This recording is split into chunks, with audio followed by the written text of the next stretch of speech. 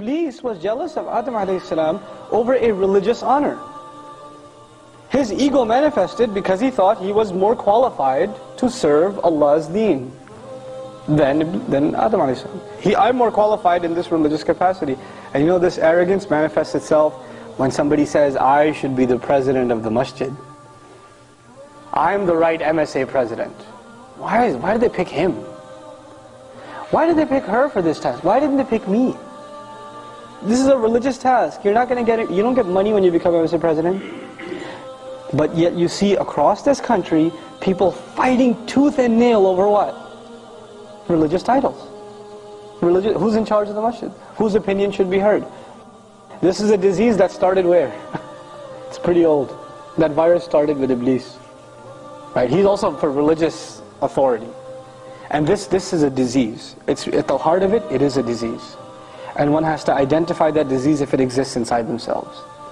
You know, when the attitude seeps inside you, thank God for me, because if it wasn't for me, I don't know, these people would have been so deviant. I, at least I'm here to set them straight. If that's your attitude, you've got a serious problem. Because now you think the deen depends on who? Yourself. The deen doesn't need us. We need Allah's deen, but Allah's deen is in no need of us. We're, Wallahu ghaniyun hamid. Allah is free of need. He doesn't need us. We have to humble ourselves. And this ego, again, you know, I'm talking about it in a religious context, but in another context, it even happens inside the family. If I die, who's going to take care of my family? Who's going to pay the bills?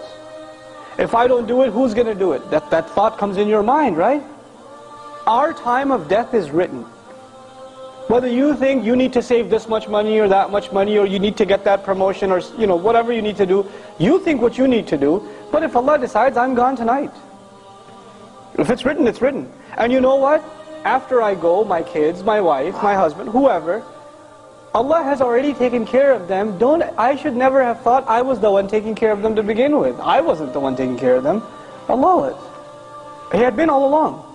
I was deluding myself into thinking it depended on me. Nothing depends on me. Nothing depends on me. I am not the source of any good. Allah is the source of all good. That that you know the when you when ego is the the root problem, where does ego come from? Ego comes from the, the, the source point. The starting point is when someone doesn't truly appreciate what Allah is, who Allah is. When you don't appreciate who Allah is, you replace that with an appreciation of your own self. That's where it starts. That's really what the root of the problem is. So no, the, the first point I wanted to make really, inshallah ta'ala, is people that wear the facade of the religion. They look religious, they talk religious, they have knowledge. May Allah protect us from this. This is a very serious problem. They look more religious. The out, outwardly is very good. But on the inside there's an ego. On the inside there's an urge to show your supremacy. You are more righteous. You are more qualified. You are better in a better position than the other. And in your heart, if you look down upon another Muslim, no matter what their condition, if you look down upon another Muslim, if you do that, then you have this thing inside your heart called kibr. Kibr, arrogance.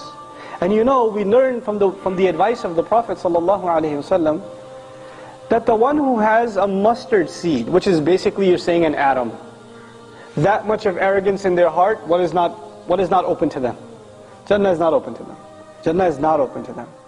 So what I'm trying to say is, you have a Muslim who does bad things. You know, the guy drinks, whatever. He does some really bad stuff. His evil actions are outwardly. But your evil action is what? Inwardly. On the outside, you look good. You look like you're doing all right. His action is punishable for sure. For sure. You don't think yours is? And if you were to compare, even though nobody's condoning his behavior, if you were to compare, which is a bigger problem that is harder to fix? Think about that. Is arrogance a bigger problem to fix? You know what's why it's a bigger problem? Because you can't even see it. At least his drinking problem, you could see it. There are things you could do to address it. But this problem in here, it's a hard thing to fix because it's deep down inside and the only one who can sense it is who? Yourself. Nobody can even, nobody can tell you. It's, if it's in there, it's in there. We can't judge any uh, of our, each other. We can't judge, oh I can, you know, while I'm giving this talk, you're listening, you're like, I can think of somebody who's pretty arrogant right now that should be listening to this. Don't think of anyone else. That in and of, its sign, in and of itself, that's a sign of arrogance. Who should you be thinking of? Yourself. The, the counsel of the religion is not for anyone else first. Who is it for first? Yourself.